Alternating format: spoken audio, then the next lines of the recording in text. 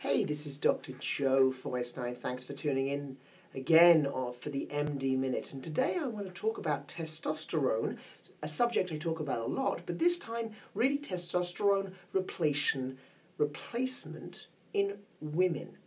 So we know already that there's a lot of argument and discussion, not only among doctors but also in the lay press, about whether testosterone is something that should be given to men.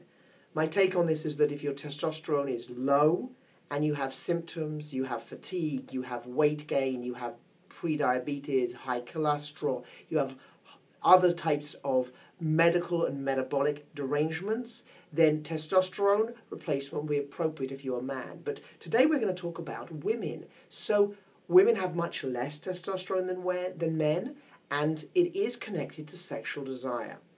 The most recent study has just been published, coming out of researchers at the University of Colorado, and published in a journal of endocrinology, and it came out with this recommendation. In women, the only reason to give testosterone replacement is if your testosterone level is low and you actually have symptoms of what's called hypoactive sexual desire disorder, or to cut to the chase, you have a low sex drive, a low libido. So if your testosterone is low and your libido is low, then there's a place for testosterone replacement.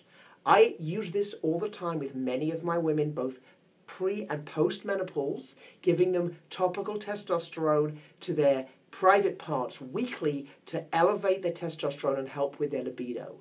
The journal also said specifically that there's no evidence that taking testosterone in women is going to have any help in terms of metabolic things, in terms of bone health, in terms of heart risk, and, and, the, and the like, or weight changes. So we want to be using testosterone in women only for women who have a low testosterone and a low libido. Dr. Joe Feuerstein with the MD Minute. Thanks for tuning in.